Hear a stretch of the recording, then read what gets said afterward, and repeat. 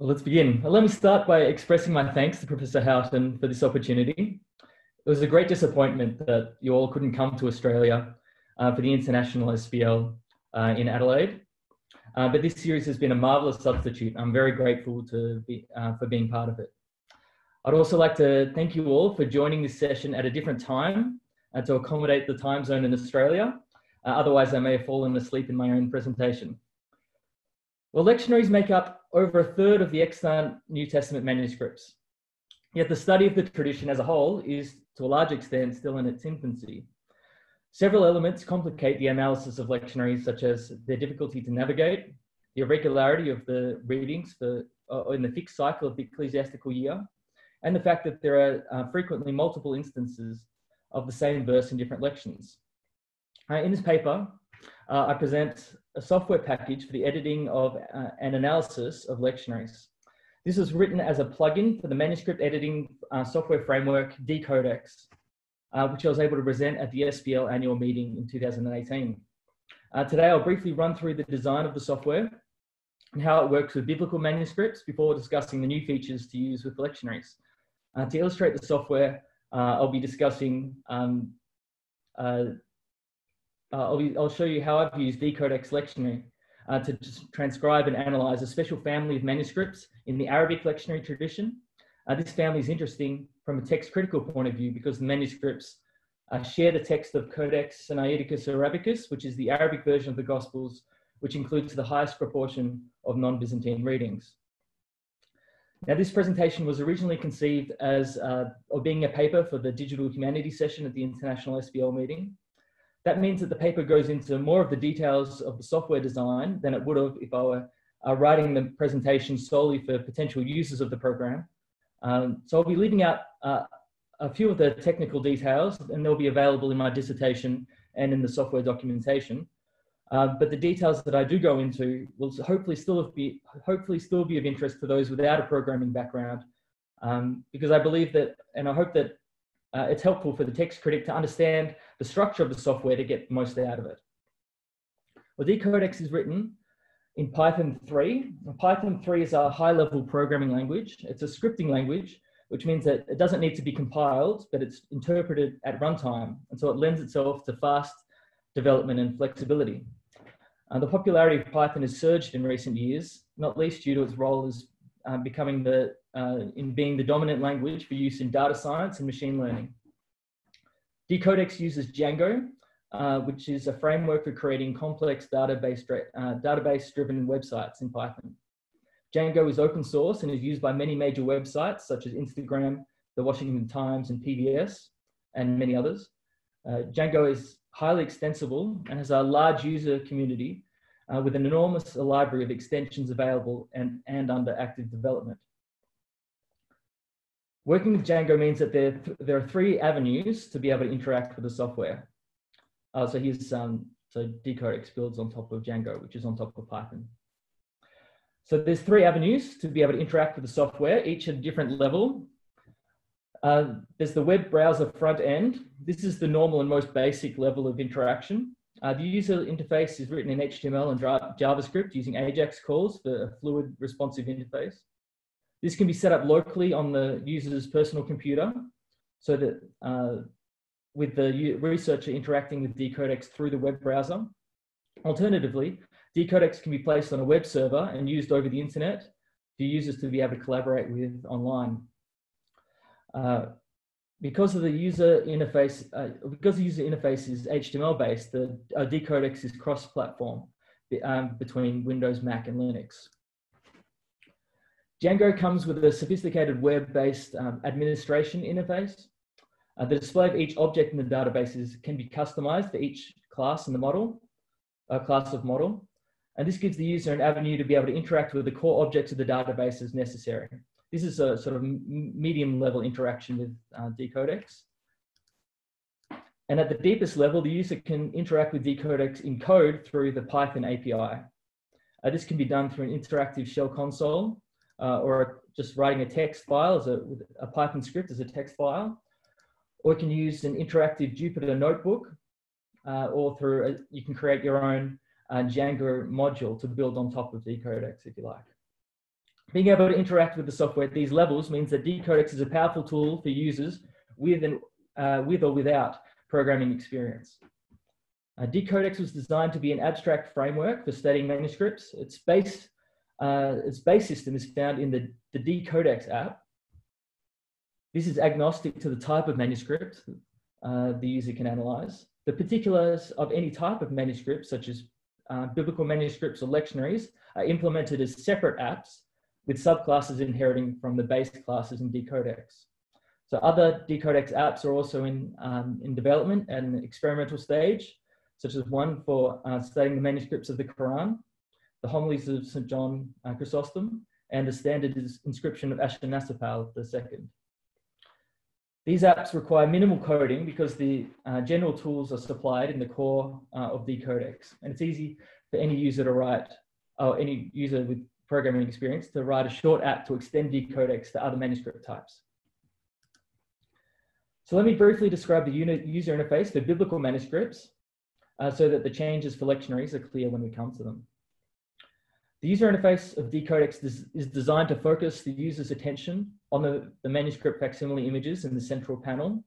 The user can scroll seamlessly through the manuscript in the panel. Uh, verse location indicators are shown in, on the top of the facsimile images where you've tagged the location of these verses. Uh, and you can save the location of a verse. Hopefully you have a slide for that. Yeah, if you click on the manuscript, it brings up a little box so you can um, tag the location of the beginning of a verse on the manuscript. So you just uh, click and press spacebar for a streamlined workflow. At the top of the screen, hopefully you can see my cursor, uh, is the uh, navigation toolbar. So you can choose the manuscript on the left. and on the right, you can search for a particular verse. So when you search for a verse, um, that, uh, that loads that verse into the interface and the facsimile images scroll automatically to where it thinks that verse is located, either exactly if that verse has been tagged, otherwise it interpolates based on the other verses that have been tagged already. Uh, on the sides, uh, you can expand the, the central panel over the sidebars uh, so that the user's immersed in the, um, in the manuscript images, images as they fill the screen. So here you go, you can see the, uh, the manuscript expands. On the left is a sidebar with images of the various pages. Clicking on a thumbnail will scroll under central panel to that facsimile image. The folio number and side reference can be tagged for a particular image by double clicking on, on the thumbnail. And you can search for a particular page by the, the page number or by the, the folio and written side reference. Uh, the sidebar on the right shows comparison texts for this verse in, in the database. On the top, there reference texts. And each user can choose what reference text they, they wish to have at the top. And on the bottom are other manuscripts that are in the database. Uh, you can click on the copy button down here, uh, and that will copy the text uh, into the transcription box. So you can use uh, that as a base text uh, for transcribing that particular verse in the manuscript you're working with. And there's also the quick look button. So here we, uh, uh, here we are. Uh, so you can highlight, put your cursor over the quick look button and that will bring up uh, the image uh, of the manuscript at that particular location. Now, if that location is saved, you have it exactly. Otherwise, uh, it interpolates the position and hopefully that's what comes up in that little box. Otherwise, you'll have to go to that particular manuscript and, and search for the, the text that you're interested in. but often this quick look button works if you've got enough of the, the locations tagged already. Well, these are some of the features of the software. I hope that gives you a, a taste, but now let's turn to the particulars of how to use it for, uh, or how D-Codex is designed to work with lectionaries. Now, let's, um, okay, here we are. Here's the diagram of how the code is structured. Uh, it's designed around a number of classes of objects, and these objects are designed to correspond neatly uh, with the elements of lectionary manuscripts. The most basic uh, class is the lectionary verse. Uh, the D-Codex framework is designed around the smallest textual unit in any manuscript. So when you're tagging the manuscript, you're, you're tagging it with verses. You're not tagging the pages, you're tagging the verses on the page. And when you transcribe it, you're transcribing verse by verse or by whatever is the smallest textual unit in your particular manuscript. And for biblical manuscripts, that's the Bible verse. And this is designed to be uh, unique for the, any particular manuscript. However, for lectionaries, things are a bit more complicated. Frequently, the same Bible verses can appear multiple times in a lectionary. For example, in Mark uh, 15, uh, Mark 15, 43 47 is commonly read both on the third Sunday after Easter and also on on Good Friday. And there's many other examples uh, like this in regular lectionaries. Uh, so we need a way for the system to know what uh, know that the underlying verses are the same, but to be able to distinguish the verses when they're at different lections.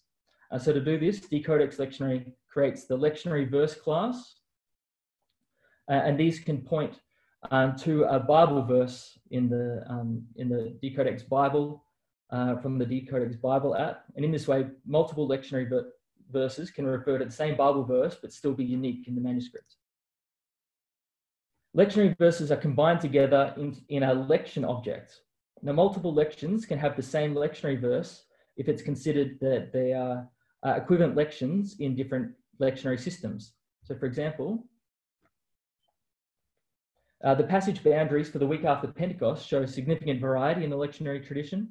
Lectionaries commonly read Matthew 5 20 to 41 from the Sermon on the Mount over this period, Manuscripts in what Burns calls group one divide these verses over the Wednesday, Thursday, and Friday, uh, and others in group two divide it just over the Wednesday and the Thursday, and on the Friday they have Matthew 7, 9 to 18.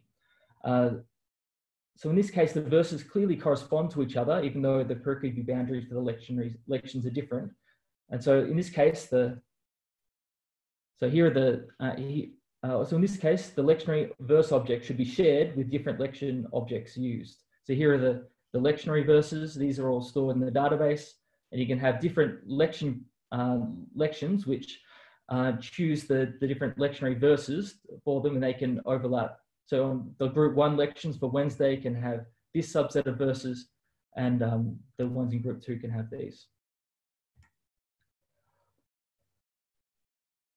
Uh, now these verses are associated in the, um, uh, in the lection through the lectionary verse membership class, which stores the order of the verses. Now the user can drag and drop to rearrange the order of verses in a lection using the admin interface. Uh, and this also stores the, uh, the expected number of characters in the verse to be able to assist in the interpolation of verse locations. Uh, when you're tagging the locations and you want to search for a, a new verse, it needs to know how much text to expect in each verse. And, and that's what's handled uh, in the lectionary verse membership class. All right. There are seven different types of days that occur in lectionaries. In D-Codex lectionary, they, uh, they all correspond to the abstract class the, called liturgical day. And, it, um, the, and the first, uh, the first, or the first um, type of day that we find is the movable day. These are days that uh, come from the movable cycle in the liturgical year, which shifts according to the date of Easter. In the software, these dates are assigned uh, the season, um, that is Easter, Pentecost, Feast of the Cross, Epiphany, Lent, or Great Week, uh, the number of the week after the beginning of the season, and the day of the week. The second cycle in the ecclesiastical year is the fixed cycle, beginning on September 1 and continuing to August 31. Uh, dates in this cycle are in, uh, instances of the fixed day class. And these objects store the calendar date on which they fall in the year. The third class of liturgical day is for the 11 resurrection gospel passages for reading at Matins, called the Eothina day. Uh, these days are simply uh, given a number to correspond to which day they, they fall in the 11 passage cycle. And the final class of lectionary day is the uh, miscellaneous day. Uh, this is for type of day, any type of day that doesn't fit into the other categories. Uh, for example, at the end of lectionaries, there are sundry pass often sundry passages for different occasions, such as the dedication of a church, or for a petition for rain, or for if there was an earthquake. Um, now, there are many types of lectionaries. Uh, lectionaries, let's, uh, I'll just explain some of the types of lectionaries.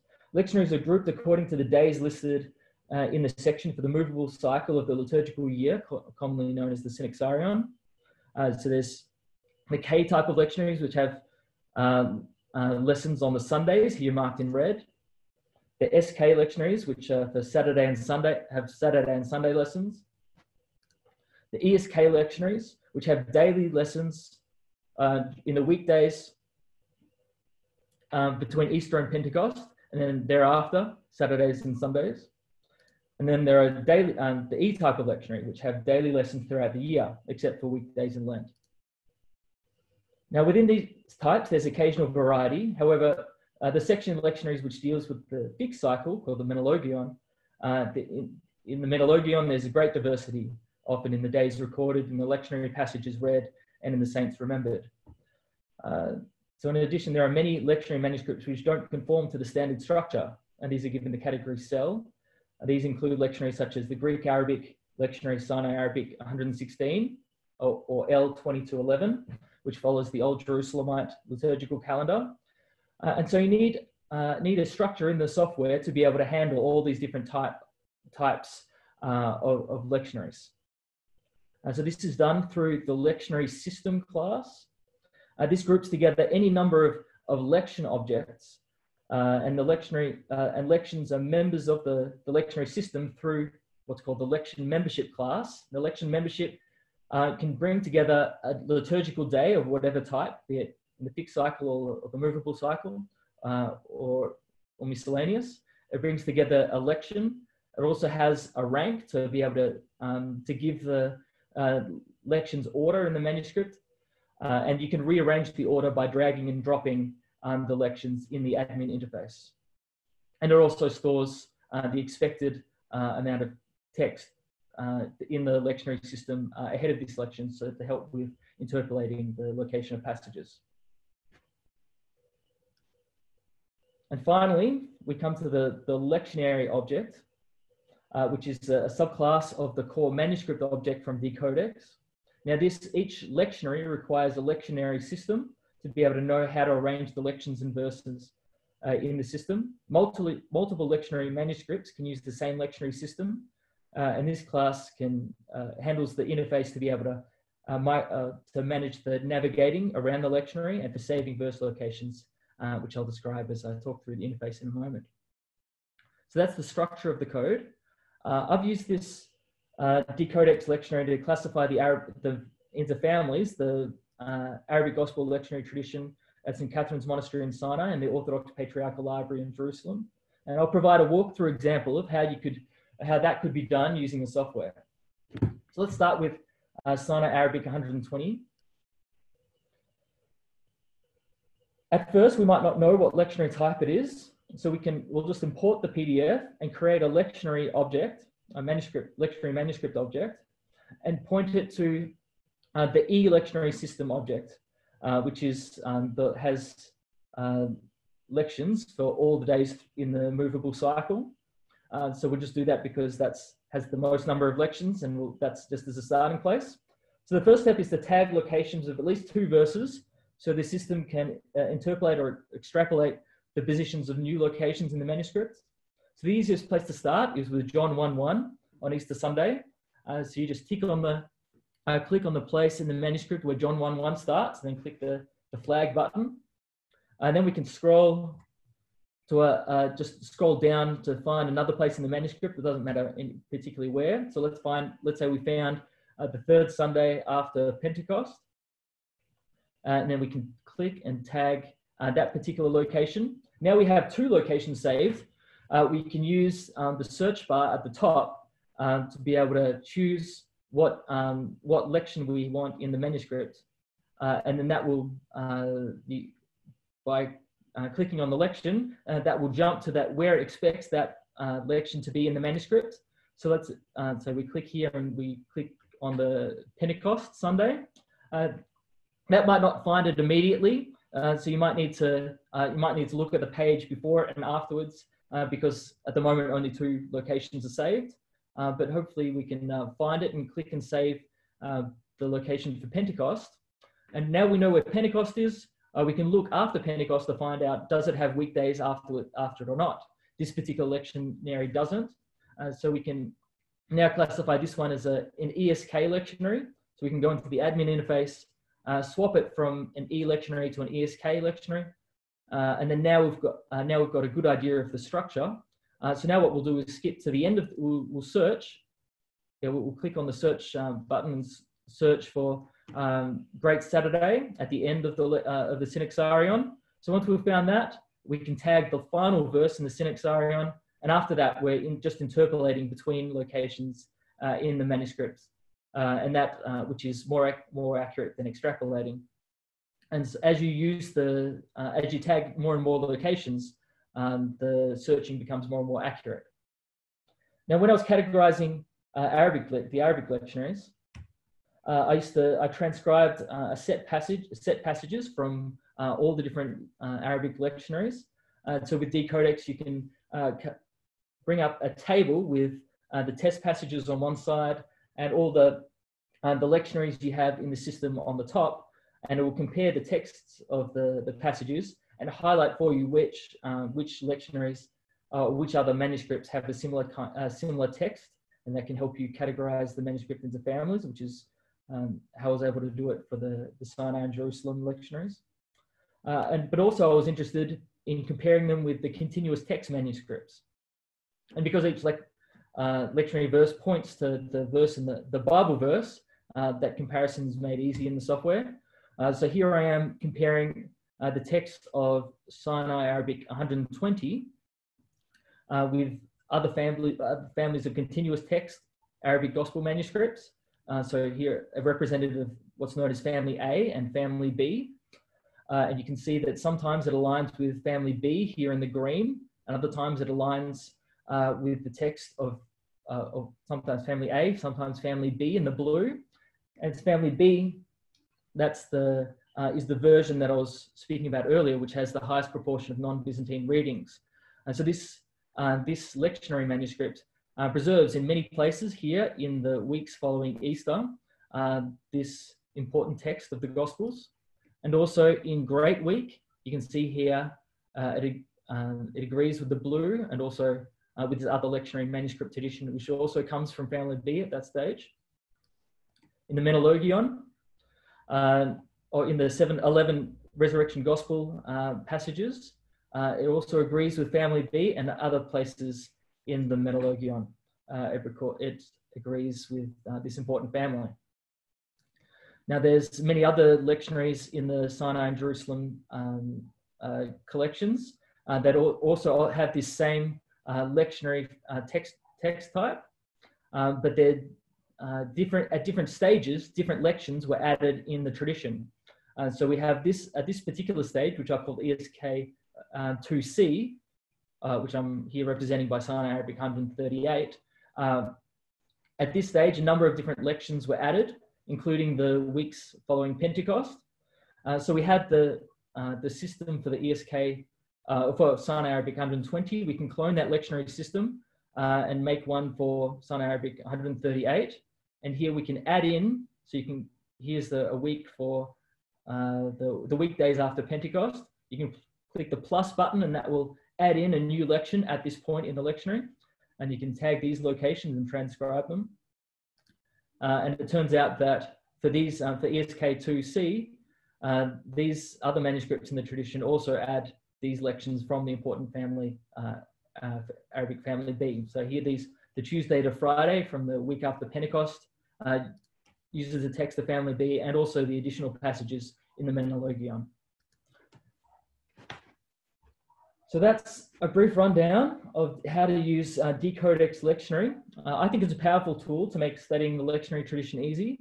It aids in transcription, tabulating a lectionary system, and navigating and, and comparing the text with other texts, uh, other lectionaries, or continuous text manuscripts. The software will be released as open source sometime in 2020, uh, as with the rest of the D-Codex framework. And I hope, and hopefully software like this can assist in opening up the riches of the New Testament lectionary tradition for scholarship. Well, thank you very much. Thank you very much indeed, Rob. And um, we've un unmuted to applaud this very clear presentation. I know that we have lots of lectionary um, people who've worked on lectionaries in the audience. So um, again, if you've got video on Wave or um, put up your hand in the participant screen, um, or type um, in the chat if you'd like to ask Rob a question.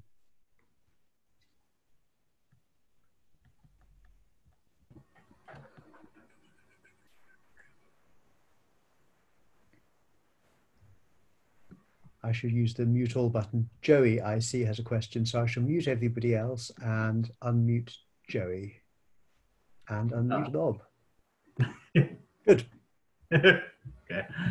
Um, thank you for the presentation. Um, it's great to see like more and more features coming out for D-Codex. Um, you you talked uh, right at the end there about um, I guess like transcription, and I, I saw in some of the screenshots that you have like that little white box near the top where you can I guess presumably uh, type in your transcription of the text. That's right. Um, I, I also noticed um, like it has a little TEI button. Um, Yeah, that's the right. Is that is that the main way that the uh, transcriptions will be encoded? Uh, yeah, that's uh, that's that's a good point. I, I didn't speak about um, how that works in the text. So there's uh, in D-Codex itself, um, there's uh, a markup uh, class, and so that markup class. Uh, you, you create your own markup class. So whatever way you want to mark up a particular manuscript, so you can write it directly in TEI if you want to, or if you've got your own um, syntax for marking up a text, uh, you, you just create uh, a class to be able to handle that and be able to handle the, the interface for that transcription box. Uh, and then as long as it, and part of the, the requirement of that class is it needs to be able to convert the text to TEI. Um, so you can write it in whatever uh, markup you want, uh, and you can have whatever HTML widget you want for that particular box. Uh, and then um, as, there's a unified, uh, or as long as you can call the method in that um, for that markup class and to convert it to TEI, then that's acceptable for D-Codex. So you can, um, yeah, so that's the way I've got it. So it's um, generic, or it's extensible, so you can people can come up with their own way of marking up manuscripts. Fantastic. Thank you. I've had a question on chat to ask uh, you, Rob, whether it's possible also to transcribe the lectionary headings and whether you have yes. the information, the rubrics available as part of your base text. Yes, that's right. That's that's a great question. I um uh yeah I skipped over that in my presentation. Uh, yes, you can. So the uh, the headings can be a, it's still the same object, a lectionary verse, uh, but just these don't point to a Bible verse. So you'd have that at the top of the lection um, for the for the rubric, and, and then you have the Bible verses after that. So that that's right. You can transcribe the uh, transcribe the rubric uh, with the occasion and that kind of thing. Uh, and then and, you, uh, and you've got the TEI or you've developed the, the structure to do that and encode it. Uh, so for uh, I haven't no, I haven't worked out how to trans, uh, how to get that into TEI yet. That's just in the system. There's a Right. there's still things to still be developed over the next few months as I'm finishing um, my PhD. Uh, but at the moment, it's just stored in the database as its own um, transcription, and then um, I'll work out a way to encode that in TEI. Uh, but yes, there is a way to do it, uh, and I should have mentioned that as I went through. No, thank you. Um, Bill, um, oh yes, I thought I you- you had a question which you wanted to ask about Greek. Uh, yes, um, uh, have you done any work yet, uh, Rob, on the Greek lectionary um, base or other versions, or is the program going to be such now you're waiting for others to do that on the input? Sure, great question. Uh, you, you should be able to use it directly with Greek as it is. I have I haven't used it for Greek lectionary myself, um, but I have used D-Codex for Greek lect- uh, for Greek manuscripts. Um, so there's a way to import the um, the TEI files um, from the um, from the Birmingham site with the, the John and also from the um, virtual manuscript library. Um, you can just import the TEI file into D-Codex, uh, and so all the the, the verse all it goes goes straight into the database. So I've used that for uh, for lots of Greek um, continuous text manuscripts. Uh, I haven't yet worked on um, a, a Greek lectionary manuscript, but I anticipate it would just be uh, uh, it wouldn't be a- any. There I wouldn't be any. interested in the lectionaries, thus the question. So, thanks. Yeah, no, I haven't haven't tried it yet, Okay. but it shouldn't be a problem. As, as part of the Codex Zacynthius project in Birmingham, we have now got one fully transcribed gospel lectionary great. um, in XML, which, which is up in the university's eData site as well. So that TEI can be taken and um, used to do interesting things with lectionaries if they happen to match the same system. Yes, I, I need to look at that.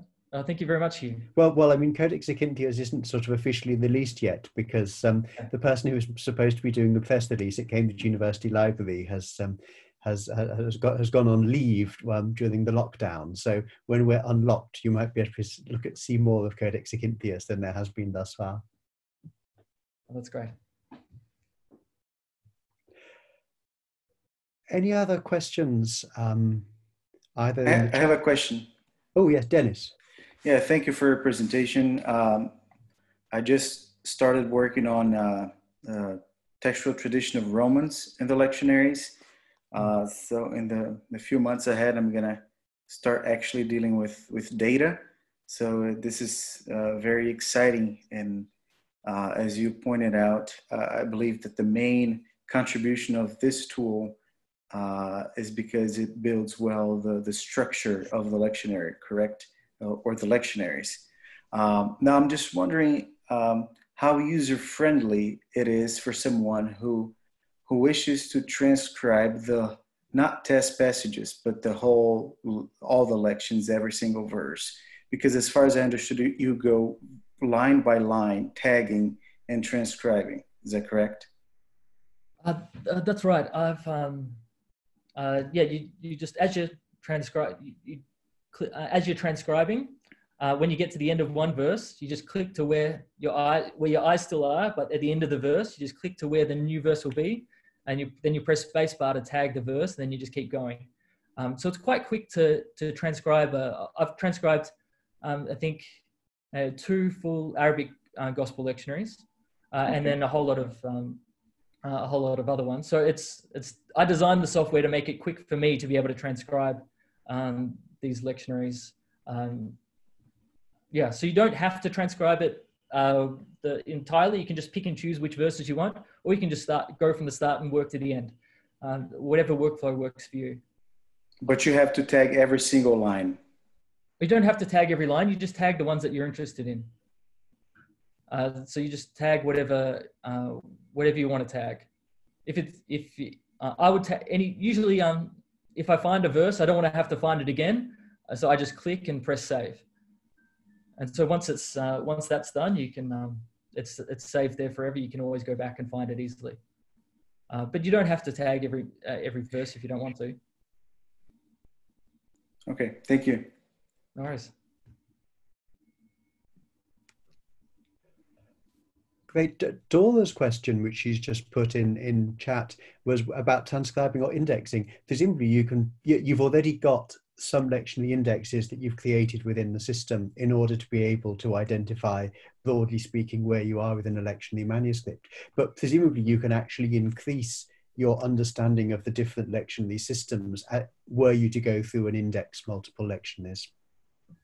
Yeah, that's right. So you could use it just for um, just for indexing uh, lectionaries to, to look at the look at their structure, uh, or you could also use it for transcribing. So that's um, that's however uh, whatever you're doing in your research.